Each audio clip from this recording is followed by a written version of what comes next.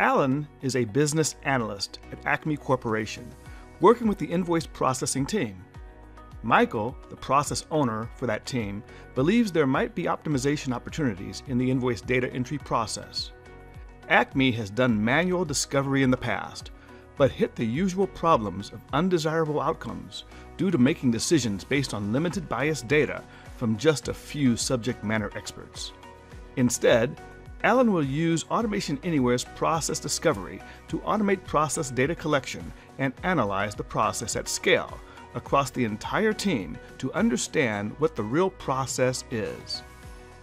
Using the new flow graph in Process Discovery, Alan will be able to see the commonalities that he could not have easily discovered before, allowing him to quickly identify those parts of the invoice data entry process that will be best served by optimization or automation.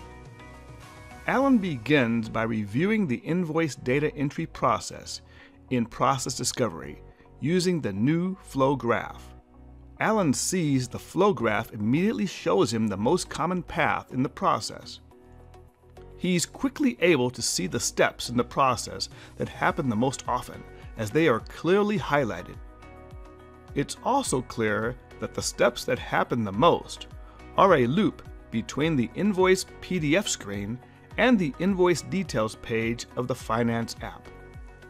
Alan also wants to see where the commonalities are among multiple paths. He selects the other paths to view them too. He sees that the same step continues to be the most common. This gives him even more confidence that optimizing the highly frequent loop might provide a large positive impact to the invoice entry process. Alan then uses the instance viewer, as he has in the past, to investigate the context of that activity so he can understand exactly what the participants are doing.